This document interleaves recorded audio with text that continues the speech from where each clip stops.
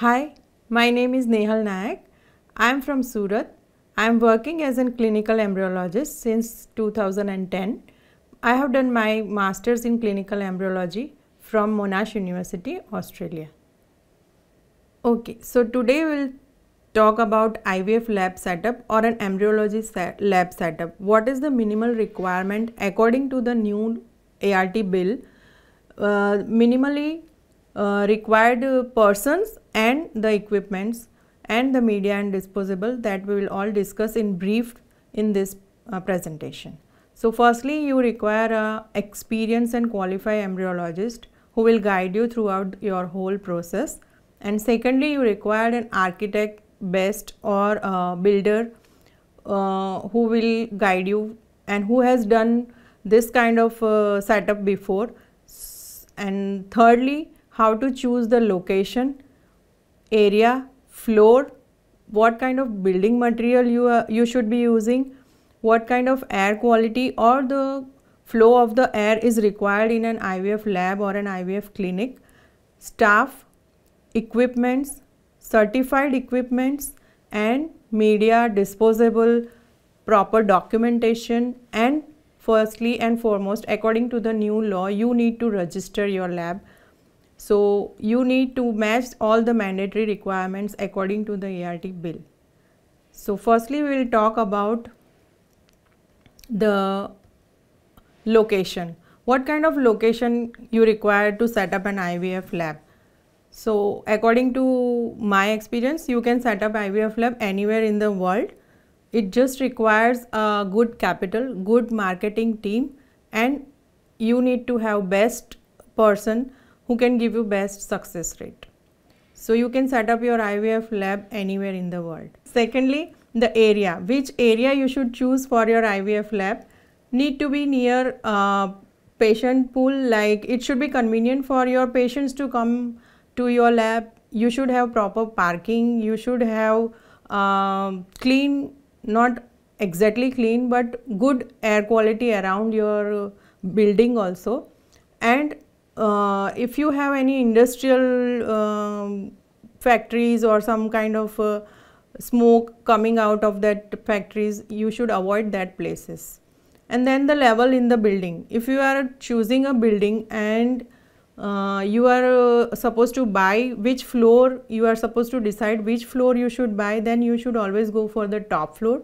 So you could get a lesser footfall and clean air and uh, more favorable environment for an embryology lab. So you need to have good uh, road or uh, uh, transport facility which can allow your media disposable to come to you uh, in a good temperature control box easily and you can have uh, better access to engineers and other people who can come and do your calibration and QA QC regularly or uh, quarterly so that your equipments do not uh, malfunction frequently. So according to the new ART bill, IVF lab or the embryology lab or the IVF clinic is now called a level 2 ART clinic and it should have, it must have rather OPU OT where all the surgical retrieval of the gametes happen, embryology lab where the, all the handling of oocytes and embryo is uh, done outside the human body. And andrology lab for processing the semen then the embryo transfer room or the ET room where the embryos are transferred to the uterus of the patient. And then the freezing room where all the storage happens of the gametes and then the collection room where the semen collection uh, takes place. All these rooms are approximately it should have 100 to 150 square feet of area and that you should be able to maintain good air quality in that uh, all that room also. Now the building materials. All the building material you use you should make sure that they are not toxic to your embryo, not toxic to your gametes as well as you it should be non-porous like you can't use fabrics, curtains, carpets and uh, you can't have windows in your IVF lab. if you if your uh, structure doesn't allow you to remove that window you should put a double glass glazing blur window instead of the regular opening wi window in the IVF lab. It should be easy to clean and dirt free and materials you use you make sure that they are made up of stainless steel or metal which is uh, not corrosive, stone, marble or uh, any kind of uh, epoxy panels that can be used in your embryology lab and what is the things you should avoid is the plastic and wood because they can give you more contamination and VOCs. So now what about the ceiling, wall, floor and windows if they are there in the uh, windows if they are there in the IVF lab. So all the joints between the ceiling, the floor and the walls should be seamlessly joined avoiding the gaps. I'll show you the figure how it should be. If you are uh, going for a modular lab then there is no issues but if you are going for a regular lab then you make sure that all the joints are curved and seamlessly joined. And lighting. Lighting should not be prominent like it should be in a flat level with the ceiling, no gaps, no joints and better to use filament lighting. And if there are any gaps, if you are putting any filtration unit, a positive pressure unit and if there are any gaps you should make sure that you fill it with the silicone gel right no, no direct sunlight is uh, should be coming in the IVF lab you should uh, coat the windows with the reflective heat absorbing material floor should be strong and non slippery and easy to clean so this is the figure which shows you how your lab uh, should have the curved uh, joints between the ceiling, floor and the walls which generally are there in the modular labs. So paint and glues. So whatever material you are using to paint the walls, if you are not using tiles or epoxy paint, then it should you should make sure that it should have the zero VOCs. VOCs are the volatile organic compounds. Uh, 5 milligram per liters are assumed as a zero VOC but above all above that uh, are not uh, advisable and you should use like you should choose lower kind of shades like more uh, to the whites because uh, when a color tint is added to that color it increases the VOCs 10 grams per liter.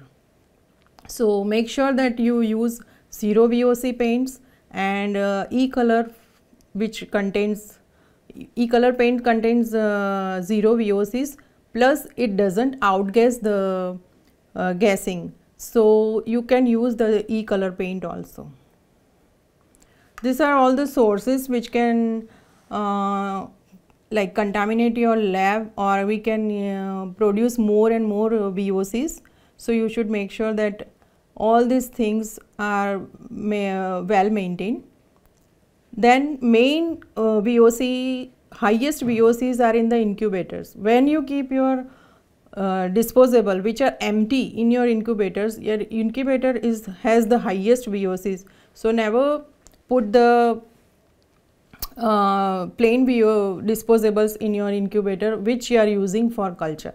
You can put that uh, disposable in the uh, gassing incubator or the box incubator but never put the empty disposables in your culture incubator.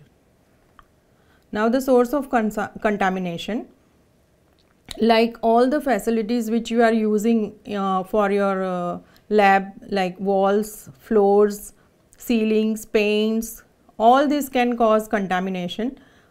Equipments whatever you are using like uh, mops cleaning uh, mops or uh, brooms that can also give you contamination. People can give you contamination. Clothes can give you uh, your ot dress can give you contamination. Make sure you change your uh, ot dress whenever they are uh, emitting lints from it so it is advisable to change your ot dress regularly whenever you feel they are not good and they are emitting fibers then how to control the contamination as well as the air quality of the lab. So firstly you should put a good filter like HEPA filter or the carbon coated filter and then you should control the temperature of the lab and then the humidity of the lab. There are uh, temperature humidity meters available in the market. You can buy and put it in your lab so that you can watch uh, the humidity and temperature of the lab so you can avoid the contamination. Now uh, to maintain the air quality and the airflow of the lab what you should do like you you should put HEPA filters or the activated carbon filters in lab as well as OT because OT is where you get your oocytes or you retrieve your oocytes so that should also have a good air quality and then uh, you you can use the CODA filters or other photocatalytic filters to clean the air in the OT lab as well as the utility. And what should be the airflow in the whole setup? So this uh, diagram shows you the man flow which is in the red and the airflow which is in the blue. So the man flow should be from outside to inside and the airflow should be from inside to outside. So you should follow this like airflow from the most clean room that is the embryology room to the OT and to the non-clean room like change room or office. And air exchange should be 12 to 15 x per meter minute. Calculation is based on the room volume which your lab is uh, built of and no UV should be used in the embryology lab while working. So this is the example of the LabGuard filtration system which shows you how you can put the inlet which throws the good air inside the filtered and clean air inside the lab. And there is one outlet which sucks out the bad air. And here the air is not circulated every time clean air is uh, throw in, thrown into the lab. Now the staff requirements and qualification. According to the ART bill, gynecologist, he or she should, should be PG in OBGY and 3 years of experience in ART and done 50 OPUs. Second is the anesthetist, PG in anesthesia, embryologist, masters in em clinical embryology and 5 years of experience. Counselor uh, should be uh, BSc in psychology or nursing Andrologist must be masters in urology. Director who should be PG in medical or life science management. Level 2 clinical ART clinic should have minimum of this equipments according to the bill. So firstly is the microscope. Three microscopes are there binocular microscope to uh, like count uh, the motility and, and uh, count of the semen. Second is the stereozoom microscope for scanning the oocytes. Third is the ICSI microscope and mani manipulator as name suggests for ICSI. Then you should have minimum of two incubators and if you are having two incubators one should be a box incubator and the other should be a benchtop incubator. The incubator which you are culturing should have compartments so Whenever you open the compartment, the other patient is not disturbed and mainly Hewitt and uh, a trigas incubator is good for culturing the embryos. And then the laminar airflow. Laminar airflow means the flow as I told you earlier, the flow should be from the cleanest to the dirtiest area.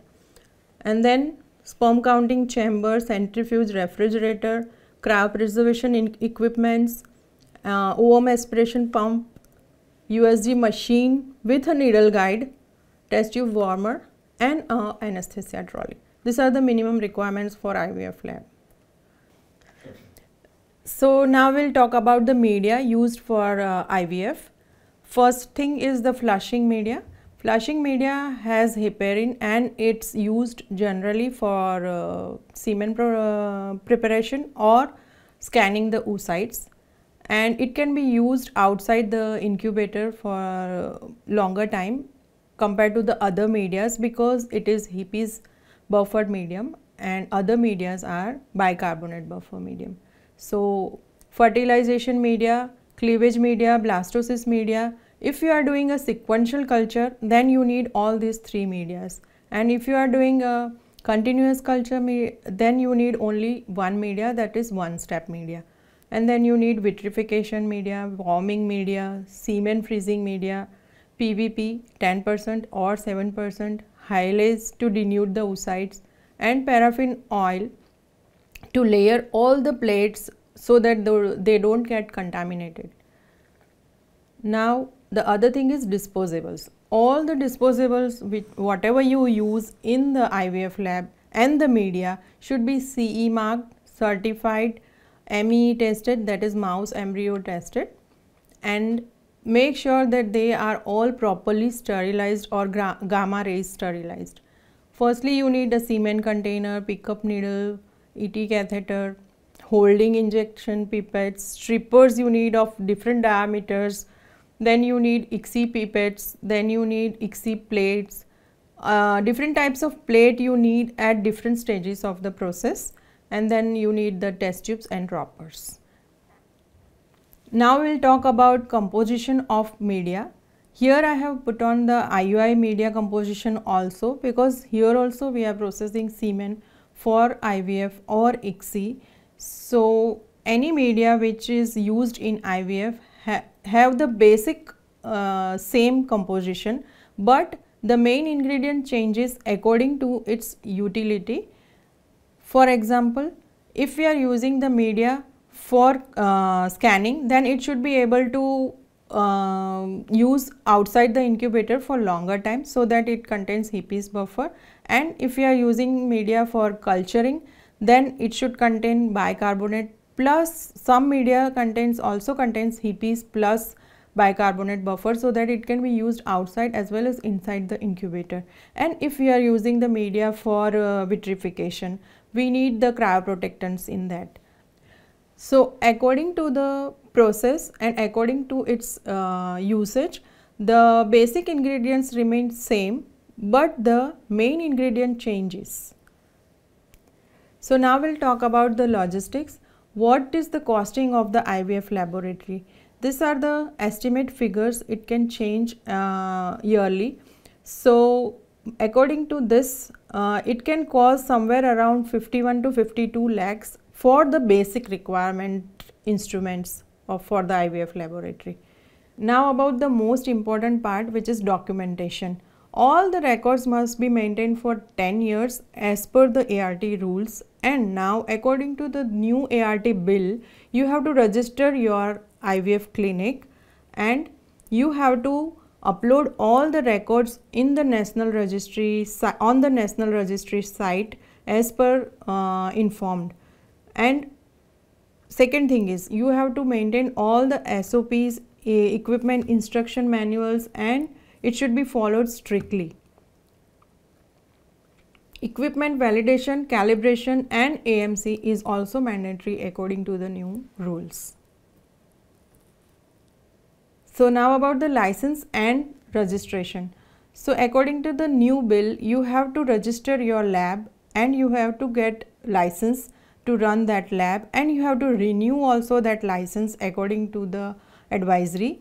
And you have to pay fees for that renewal as well as registration also as mentioned on the screen. Uh, ART level 1 clinic has to pay 50,000 level 2 clinic has to pay 2 lakhs and ART bank has to pay 50,000 initially. And after then you according to their advisory we have to renew our certificates or the registration uh, periodically. So now in conclusion as I always conclude with this uh, saying that you need to have best infrastructure, best equipments and regular QA QC, best staff which means like highly qualified, highly skilled and experienced staff to run the lab efficiently and for good results. Thank you very much.